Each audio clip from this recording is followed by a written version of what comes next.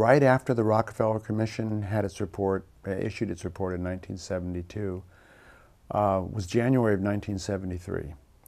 And in January of 1973, the U.S. Supreme Court issued its epical decision on abortion, Roe v. Wade, and decided that uh, abortion could not be made illegal in the United States, that women had the right to choose abortion, um, at least in the first trimester. And that changed the playing field entirely. It wasn't immediately apparent when that decision came down that it would have much impact on the much more abstract discussion of population in the United States.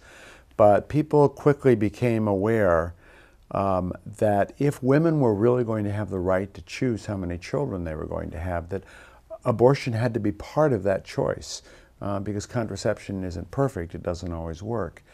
And people began to assemble the, the chain of, of uh, reasoning on this and to see that um, a population that was going to emphasize women's choices might also make abortion more accessible. And given the Supreme Court's decision that abortion was legal in the United States, a lot of people got worried about that. Particularly the Catholic Church got worried about that. And almost immediately after the Rockefeller report, the Catholic Church was, which has always been vigilant about these matters. It was vigilant back in the 1950s uh, when President Eisenhower was first presented with a commission report suggesting that the United States support uh, birth control in developing countries. Um, but certainly by 1972, the Catholic Church had seen the attention to population in the late 60s. It saw the Rockefeller Commission report, which was very worried about.